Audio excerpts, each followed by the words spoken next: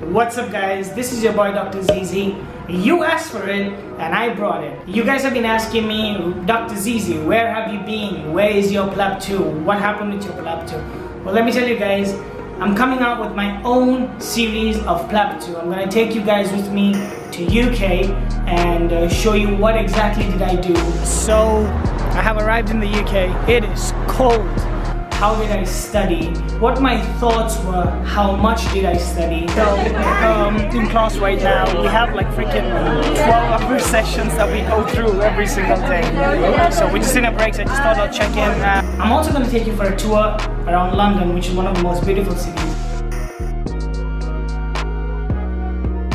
And finally, after the entire thing, we'll come back and then we'll go ahead and wait for the results and let's see what happens do I pass the PLAB 2 or things go haywire and go bad? Although I really hope I pass, but I want to make sure you guys come with me and join me for my journey through my PLAB 2. Those of you guys who haven't subscribed to my videos, make sure you hit the red subscribe button, follow me on my social media, my Facebook, Instagram, and since I'll be posting very constantly from now on. That way you can be part of my PLAB 2 journey and then you in the future can do what I did to replicate and get the same results. So I'll see you guys in the next video. Make sure you subscribe, leave a comment in the comment section below. This is your boy Dr. Zeezy signing out. I'll see you guys in the next video.